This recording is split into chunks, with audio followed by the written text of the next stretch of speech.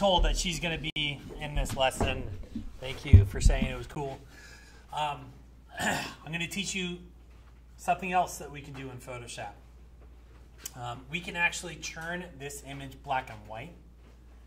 And then using a tool in Photoshop, we can paint the color back in. Essentially, we can have a, an entirely black and white picture, and then the, the person, the subject in the photo, can be in color. That'll draw the eye towards an athlete or an action that's happening, make it look a lot more dynamic, look really, really cool. So I'm going to show you guys how we can do that with this photo right here, and then it'll be on you guys to do it uh, with photos that um, for for this next assignment. Again, this is this is all about creating a black and white image. So I'm going to go in Photoshop after I open up this photo.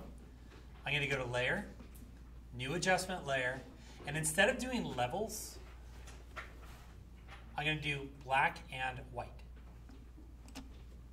Again, it asks me to give it a name. I, am just going to leave it like this. You could name it, I don't know, but I'm just going to leave it. I'm going to hit OK. And now our image is being converted to black and white. Let me show you what's happening. In our layer window, Photoshop is all about layers, by the way. In our layer window, we have our full color image, and then we have this filter or this adjustment that's on top that is churning that image black and white. Just like with levels, in our properties window, right over here, we have settings that we can change that will affect how it converts red pixels, yellow pixels, green, cyan, blue, and magenta pixels to black and white instead of in full color. I'm going to put this back so you can see what I'm talking about. When I drag this to the left, you can see that those red pixels are changing. Yellow, green, cyan. There wasn't much cyan in here. And we have blues.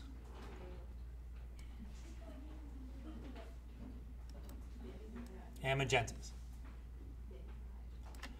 You can change those settings yourself based off of the photo that you have.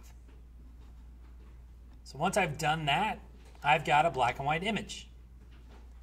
Now, to mess with this, to bring back the color, we're going to work on what's called this layer mask. Right here, do you see this white box? We can use our paintbrush. This is the brush tool in Photoshop. We can use a paintbrush to literally paint the color back in. So essentially, if I get my paintbrush out and I start to paint, oh, this is really small. I'm to turn that back to a larger paintbrush. There we go. You can start to see that color of the original image come back. I'm going to undo that. And I'll show you the settings for this paintbrush in Photoshop. So I have my adjustment layer. I'm going to click on this layer mask to work on it. I'm going to get my paintbrush out. And up at the top of Photoshop, you'll see all the settings for my paintbrush. The most important one is this guy right here. This controls the size of the brush and even what's called the hardness level. I want you to imagine how hard the edges are around a paintbrush, an actual brush that you would paint with on a canvas. That's got really soft bristles, right? So it's really soft. And compare that with a crayon. A straight up Crayola crayon. Does that have soft edges? No, it's really hard. So if I were to take the hardness level down to 0%, and if I were to paint, Notice how soft the edge of that paintbrush is. Again, I'm going to turn the hardness level to 100%. That's the edge of that. So when you are using your paintbrush,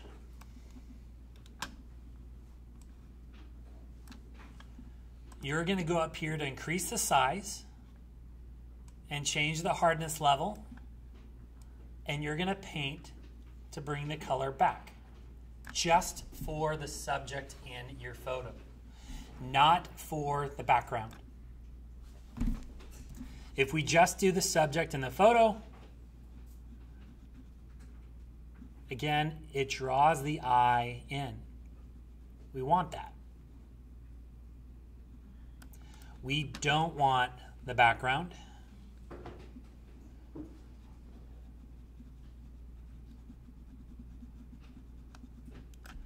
And if you make a mistake, like I did right here, I got a little bit of the background right there. I'll show you the trick. When I paint, I use this foreground color to paint. Black will bring the color back. If I change this color box from black to white,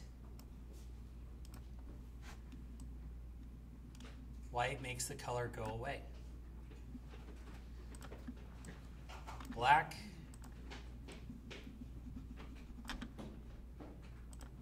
and white.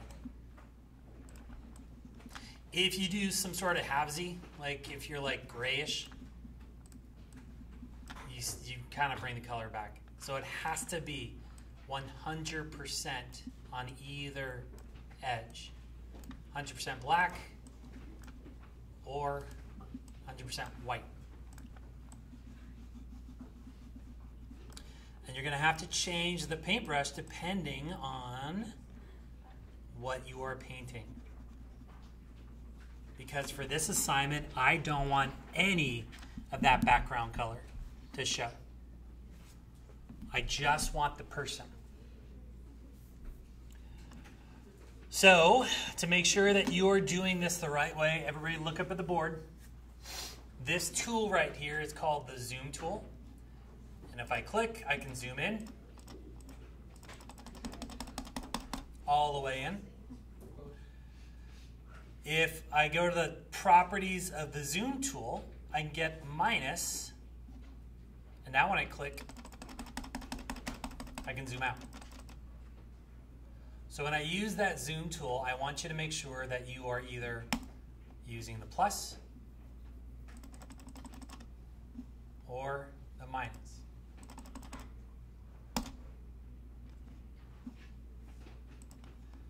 In order to make sure that this is perfect, you're going to have to get up close and use a brush the appropriate size with either black or white. It's going to take a while.